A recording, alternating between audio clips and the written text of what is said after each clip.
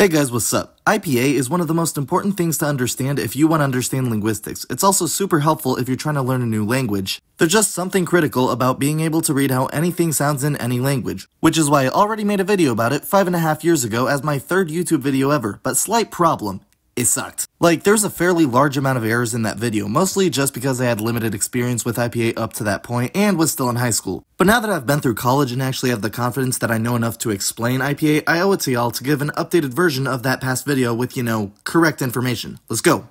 First off, what's this IPA I've been talking about and where did it come from? And in case you haven't figured it out yet, I'm not talking about beer. Basically, IPA, which stands for International Phonetic Alphabet, is a very large alphabet used to indicate what specific sounds are in a given word or phrase, and it can be used for any language. Without it, to describe a sound, you'd have to go into an insane amount of detail that people won't understand anyway. IPA was created originally in 1888 by French linguist Paul Passy, with collaboration from Danish linguist Otto Jespersen and English phoneticians Alexander John Ellis and Henry Sweet, them among a group that would eventually be known as the International Phonetic Association, or IPA, but Xidnaf already pointed out that irony. The alphabet was originally serviceable only in English and French, but has since expanded to include every language that we know of.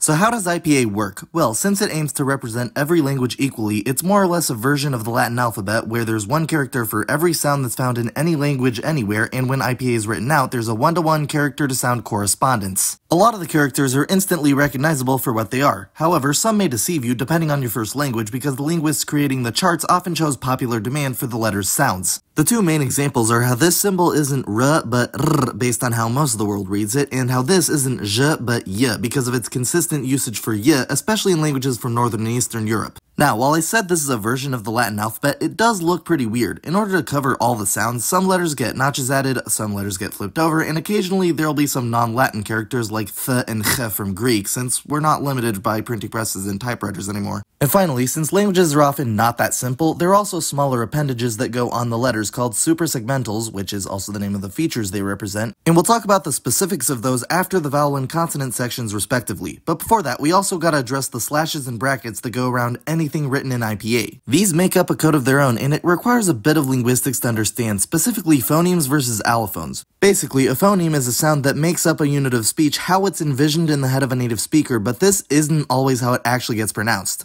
Sometimes a phoneme will get pronounced differently depending on where it is in the word, according to a certain pattern, and this is known as an allophone. Therefore, if you're transcribing something in IPA, you have a choice on how you write it. If you want to write how a speaker would actually say the words, you use brackets, and this is called narrow transcription. But if you want to instead write what a speaker thinks they're saying, i.e. the phonemes in the word, you use slashes, and this is called broad transcription. I usually prefer narrow transcription, but both of them have their uses, especially if you want to teach sounds in a new language to students. To exemplify this, here's a pet peeve I have. In American English, there's an allophone where O and U become O and U before liquid consonants. For example, phone versus hole and tune versus pool, L's a liquid. So here's how you'd write those words in narrow and broad transcription. The problem is that people just ignore this allophonic distinction all the time when writing IPA transcriptions, which means that if I hypothetically was an English student reading those transcriptions, I wouldn't be able to see that allophone and I'd stay pronouncing those vowels, namely the phonemes, wrong as phone and tune. So yeah, American linguists fix that. But yeah, last two things to know about narrow and broad transcription. First, broad transcription may allow you to use a more common character for a sound, provided there's no phonemic difference between the sound in the language and the sound normally represented by that symbol. Like in English, you could use right side up R to represent R, since we don't also have R. And lastly, narrow transcription doesn't have to be that narrow. You don't need to put every painstaking detail in the transcription, or it'd get hard to read after a certain point, like how you don't necessarily need to put the dental sign under te or de in Spanish, even though they are dental consonants.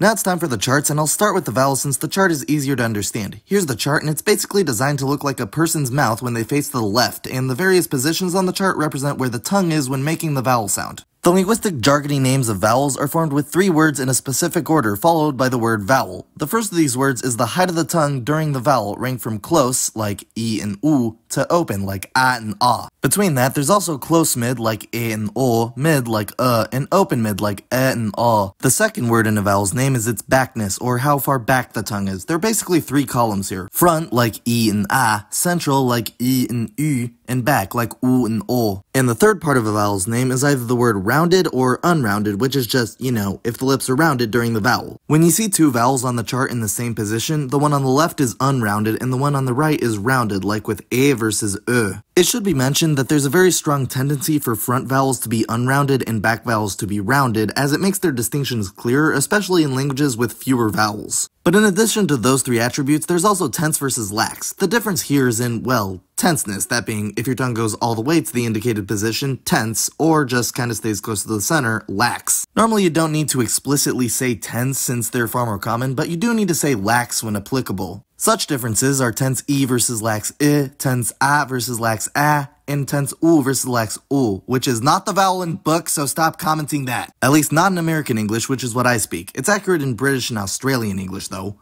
So now that we've seen the vowel characters, it's time for the vowel diacritics in IPA. To stay on theme, I'll start with those that slightly reposition the vowel. These are normally omitted due to languages not having any distinctions involving them, but first up are the tacks, which go under the letter and have a system to them. To start, the up tack slightly raises the vowel, and the down tack slightly lowers the vowel, so they work kinda like arrows. For example, there's a, and e. This last one, the mid-front unrounded vowel e, despite not having an IPA letter of its own, is actually pretty common, especially for languages without a phonemic uh, e, e distinction. It normally just gets written without the tack though. The left and right tacks indicate similar things, remember that on the chart left equals front of the mouth. But more specifically, they indicate respectively advanced and retracted tongue root, which is exactly what it sounds like. The tongue root is either advanced or retracted, and this is a distinction some languages have. By the way, these symbols can also be used for consonants if applicable. Similar to the tacks, a plus sign below the letter or above if the letter sinks below the line means that the whole tongue is advanced while a macron, which is basically a minus sign, means that the whole tongue is retracted. Contrary to everything above, you can centralize a vowel by adding either a diaeresis or a miniature X above the letter. And finally, for the relative positioning signs that you'll likely never use, a right half ring under the vowel indicates that it's more rounded, and a left half ring indicates less rounding. So now onto the vowel diacritics that you're more likely to use as they represent suprasegmental features, starting with vowel length. Long vowels are represented by a colon made of miniature triangles, of which you'd only use the top triangle if the vowel is half long. To the other end, some languages have extra short vowels, and those are represented with a breve. Regular just short vowels don't get any special treatment in IPA. Now to go through some other vowel features. The tilde above indicates a nasal vowel like eh. The tilde below indicates creaky voice like eh. And the diaeresis below indicates breathy voice like eh. Also, in diphthongs, the vowel that isn't the main part of the syllable will get an inverted breve below it like an I. Now about pitch and tone. There are two ways pitch and tone can be expressed in IPA. First is with a diacritic, namely acute for high, e,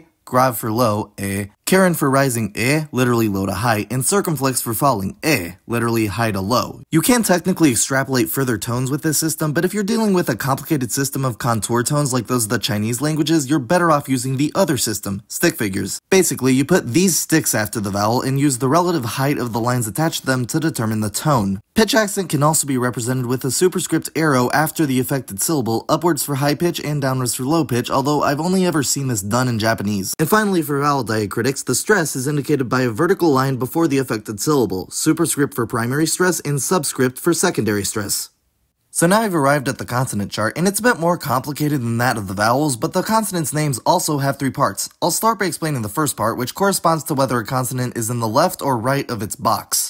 This is the voicing, and the first word of a consonant's name will be either voiceless on the left or voiced on the right. This basically just refers to if your vocal cords are vibrating during the consonant or not. Hear the difference between s and z. Other such examples are p and b, ch and r, and g and g. The second word in a consonant's name is its anatomy, or place of articulation, that is, which part of the mouth is used to make the sound. More specifically, the name mostly refers to the passive articulator. You see, consonants are made with two parts, the active articulator and the passive articulator, which are both exactly what they sound like. The active articulator reaches up and somehow contacts the passive articulator, which basically just stands there. The thing is, there are only four active articulators, and each of them have several passive articulators assigned to them, so just saying the passive articulator is more concise. The places of articulation are listed across the top of the consonant chart and represent the columns, and the directionality is the same as on the vowel chart. The front of the mouth is on the left. So now I'll just run through the places of articulation in order of front to back, which means we're starting with bilabial. This one's pretty self-explanatory, it's made with both lips, and some examples are m, b, and p. After that is labiodental, which involves the lower lip and upper teeth. The most common sounds of this variety are f, v, and r. There are also some dentolabial sounds made instead with the lower teeth and upper lip, but these are harder to make and way less common. They're followed by another rare place of articulation, linguolabial, which involves the tongue going between the lips. These sounds like pe, the, and ne are found exclusively in a few languages from Vanuatu, along with one singular language from Guinea-Bissau. Now back to the more common places of articulation, we have dental, which puts the tongue between the teeth. This is the case with the and the, for example, but a lot of languages have their th, the, and na sounds technically falling into this category. Otherwise, you'll find those sounds in the next place of articulation, alveolar, which is produced with the tip of the tongue on the alveolar ridge, the ridge behind the teeth. Some examples are, of course, the, and na, but there's also se, ze, re, and le. Logically behind alveolar, you'll find post-alveolar, which is pretty self-explanatory. The main examples there are sh, zh, ch, and j. Then, kinda going along with this is retroflex, which is kinda like post-alveolar, but the tip of the tongue is curled back so the underside touches the roof of the mouth, and these sounds are very common in India. They include d, d, l, n, and sh. The next step back brings us to alveolopalatal, which basically describes the tongue being between the alveolar ridge and the palate, basically the hard part of the top of the mouth, most famously having sh and zh. Behind that is, of course, palatal. The most widespread sound of this place is ye, but there's also nye, kye, sh, zh, and lye. Following that is velar, where the body of the tongue contacts the velum, which is the back part of the roof of the mouth. These sounds are relatively common and they include k, g, ng, and ch. Then behind that is uvular. The uvula is the soft part at the back of the mouth with the dangly bit. It makes sounds such as ga, ga, ch, and ra. Now the last two places of articulation are fully in the throat, not really in the mouth at all, and the first of those is pharyngeal, sometimes called epiglottal. The pharynx is a tube leading from the nose past the mouth down to the esophagus and trachea, also known as the windpipe, while the epiglottis is the flap responsible for closing off your windpipe to stuff that isn't air. Both of those body parts contribute to making these sounds, the main two of which are the two most quickly thought of Arabic consonants, ha and ra. And finally, for the place of articulation, there's glottal, which is just the vocal cords, or glottis. This includes ha, ha, and uh. So now we're at the final word of a consonant's name, and that's the manner of articulation, or how exactly the sound is made. If you don't get it, you'll get it very soon. Unlike with the place of articulation, with the manner there's no natural order for them to go in, so I'm just going to present them in the order used on the IPA Phonetics app, which is the main IPA tool I use. I should also mention that all consonants fall into either obstruents, those which obstruct airflow, and sonorants, those that don't, and they're not necessarily together on the chart. The first manner of articulation is the plosives, also sometimes called stop consonants. This is the most obstruent of the obstruent classes, as the airflow is completely stopped, and the involved parts of the mouth kinda explode off each other, hence the name. The six best known plosives are but the the next manner down is the nasals, a sonorant class where some of the sound comes out through the nose. Examples of these are m, n, n, ny, and ng. After that, we have the trills, sonorants, which are exactly what they sound like, except they're more like drum rolls than trills on a flute. The most common one by far is r, but there's also dr and r. The next manner is what would happen if you did a trill only once, a tap or flap. The only one I've ever heard in real life is the rather common ra. After that, we're back into the obstruents with the fricatives. As their name implies, fricatives are made using friction between the articulators. They're arguably the most versatile manner of articulation, and some of them include f, v, th, the, s, z, sh, j, ch, r, ch, r, h, r, h, and h. Along with that, there are also some lateral fricatives, which are basically just fricatives, but the air comes out on either side of the tongue, not directly over it. The main two of these are sh and j. After that, we have the approximants, a sonorant class where the active articulator goes near the passive articulator but doesn't touch, hence the name approximants. They're also sometimes called liquids or semivowels since they're pretty close to being vowels, and some of them are w, v, r, and y. And much like with the fricatives, there are also lateral approximants, or approximants where the air comes out beside the tongue. The main one is le, but there's also l and y. By the way, about le, it can also have variants with increased tongue pressure in the back of the mouth, and these are called dark L's. They can be represented with this character, but often IPA writers don't distinguish between it and normal light L, so if you're learning a language, it's probably best to listen and figure this out on your own. Moving on, we have the affricates, an obstruent class that's basically just a plosive and fricative co-articulated. They include t, ch, j, and k. They're also lateral affricates, which is just ch and j pretty much. So now that's the end of the so-called pulmonic consonants, those that use the lungs, it's time to look at the non-pulmonic consonants, three groups of rather interesting consonants that, you know, don't use the lungs. First up are the implosives, which are basically plosives, but your throat goes down and draws some air inwards just before the release, hence why they're called implosive. Disclaimer, to this point I haven't studied any languages that use implosives, but I'll try nonetheless. Four of them are b, g, g, and b. Next up are the ejectives, which are kind of the opposite of the implosives in that the glottis goes upwards when releasing the sound. I actually have studied a language that uses ejectives, that being Amharic, so I can say that some of them are p, t, ch, and k. And finally, we have arguably the most famous non-pulmonic consonants, the clicks. Clicks are made by closing the mouth off at multiple points, creating an air pocket that then sort of explodes when you release the sound, which is why they're so loud. For example, uh, uh, uh, or uh. Sorry, you had to hear me doing that.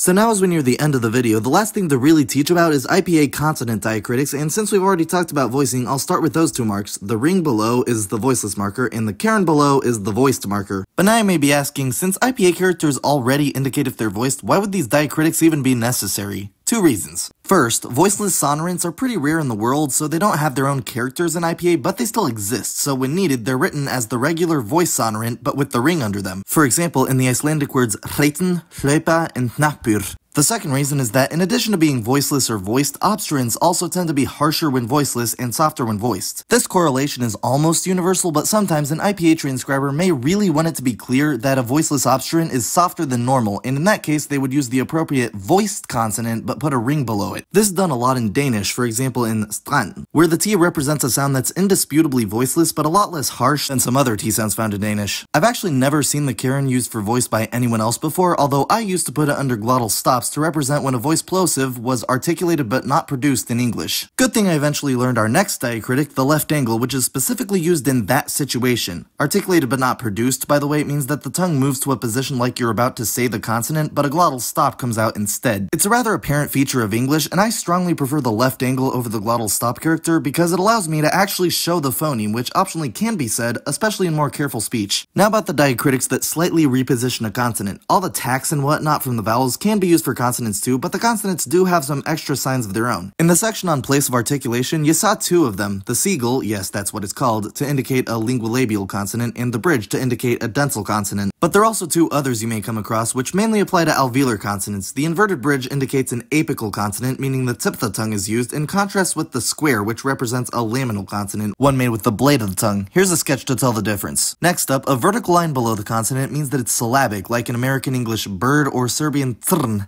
This can only happen to sonorants. And after that, we have the superscript letters indicating rather important suprasegmental features. An H indicates aspiration like in t, although for voiced aspiration or breathy consonants, the curvy voiced version is used instead like in the. Outside of that, the J indicates palatalization like tje, the W indicates labialization like twe, the superscript gamma indicates velarization, a feature found in Irish, like dre, and the superscript backwards question mark without the dot indicates pharyngealization, a feature found in Arabic, like ta. Sometimes the superscripts can also go before a consonant, like the H for pre-aspiration, a feature found in Icelandic, like in trykkur, while any superscript nasal consonant can be used for prenasalization, a feature found in many African languages, and that sounds like mb or nda. Finally, for the consonant diacritics, we have the double breves, or ties as I like to call them. A double tie can go above two consonants to indicate co-articulation either as an affricate or otherwise, like in that g phoneme found in several African languages like Igbo. And a double breve can also be put below the space between two words to indicate liaison, or that the normally silent consonant is pronounced at the beginning of the following word due to a vowel. Here's a video about French if you need more explanation about that.